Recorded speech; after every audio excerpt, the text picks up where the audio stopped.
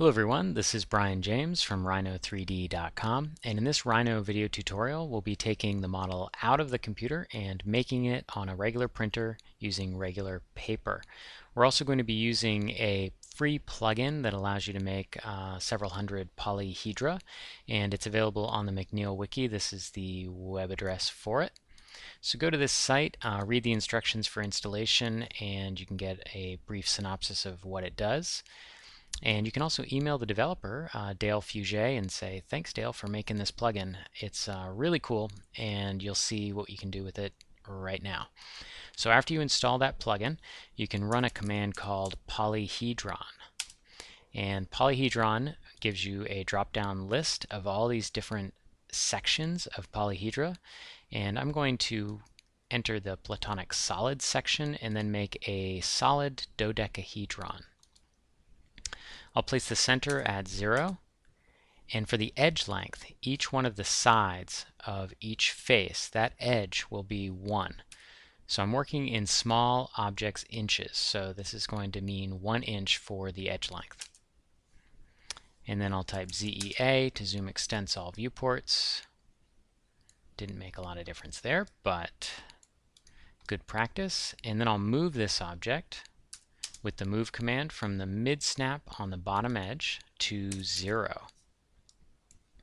And then in the front view, I'll use the rotate command to rotate from 0, use an end snap, and then hold down shift before left clicking in order to keep it straight. And now it's flat on top of the top construction plane. And now I can use ZEA to zoom extents all viewports. And you can see the polyhedron that is created. And this dodecahedron has 12 sides, and each side is a pentagon. Now if you wanted to make this out of paper, you'd need to flatten it into a pattern that you could cut out uh, of that sheet of paper and then tape or glue together into a form in the real world that looked like this. And there's a cool command in Rhino called unroll srf. Unroll srf will do just that. And you'll have some options in the command line for whether or not to explode uh, all the faces in the poly surface or label them with dot objects. These are the settings I'm going to use, no, no, and no. So I'm going to select the poly surface and then press enter. And you can see what happens. Let me maximize my perspective view here. The dodecahedron is unwrapped or unrolled into this arrangement. And right now, if we wanted to add additional planar surfaces that represented a tab structure in order to glue or tape the model together, it'd be a little hard to figure out where we want to add those tabs. So we're going to make this, I'll leave this one over here just for comparison. We're going to make this a little bit differently by first unjoining some of these edges. Now the concept of unjoining will tell the unroll surf command that we allow it to separate at these edges. So let me go back to my four views and run the command unjoin edge. And from the right view, I can just select all these edges in unison. And then I'll hold down the control key and left click to deselect one of the edges like that along the center. And then enter. And nothing appears to be different, but now if I run the unroll surf command, with the exact same settings, I get this result, which is a lot easier to figure out in terms of adding tabs.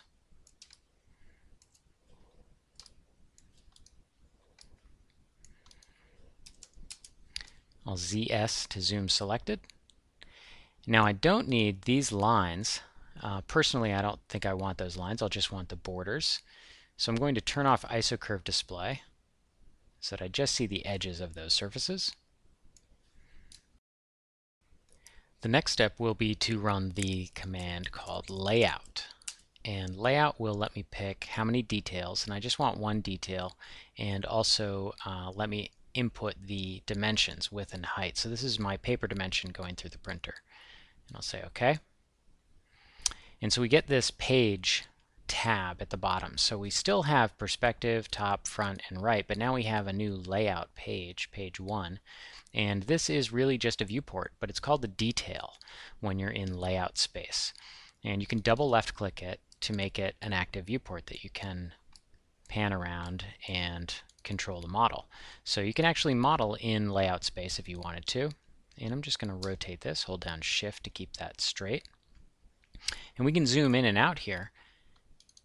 And I could print this, but what does it mean to actually print something this this large on an 8.5 by 11 piece of paper? Will each one of these edges still be one inch? So there's something that you can do to scale the model so that one inch in model space equals one inch in layout space. And that's what I want to do here so that I know that I have the exact sized dodecahedron when I put it together out of paper. So double click, so you activate the detail, and then run the command detail. And up in the command line, you'll see a bunch of options, and you can click scale. And I can say that the distance in layout space, currently one inch, will equal this distance in model space. And currently, at this particular view, it's, it's this uh, relationship, so I'll type 1 as well, so it'll be 1 to 1. And then I can run, um, I can just pan this over with shift and right mouse button, so I center it. And then I can run the command detail again and click lock up in the command line. So now you can activate this detail, but you can't move the model or zoom in and out. All of that just moves this graphical display of the layout page. So we could still measure or add elements to this model like the tabs, but we now are assured that we have one inch for each of the edges. I'm going to go into the display panel here off to the right and uncheck isocurve display. And then I'll activate this view because I want to model some tabs that we could tape or glue together. And I'm going to use a planar surface and I'm going to make a rectangular plane from three points. And then I'll use a near object snap here for the first two points. And the third point is just going to be like that. And so this second planar surface, or this uh, planar surface in addition rather, to the dodecahedron that's been unrolled, I need one of these tabs on each one of these edges. So I'll use the array polar command. And then for the center of the array, I'll use the intersection of two mid-snaps. And then I'll type 5 as the number, and 360 is correct. And then enter.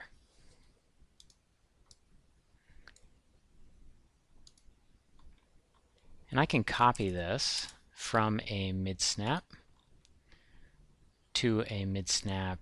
Let's see, do I have an edge somewhere around here that matches up with that?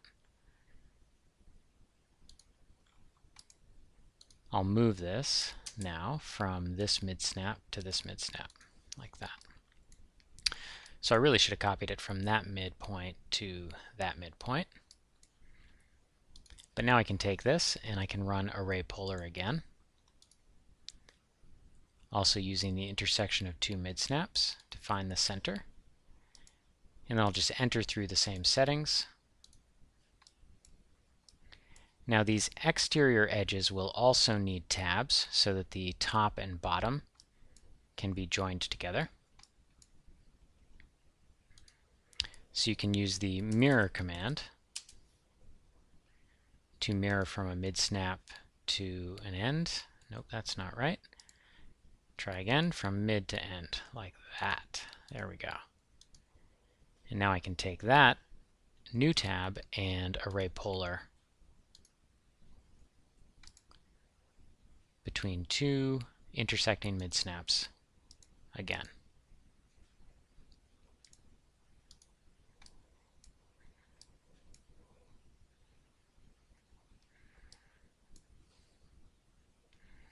And if you need one on the other side, you can do that again.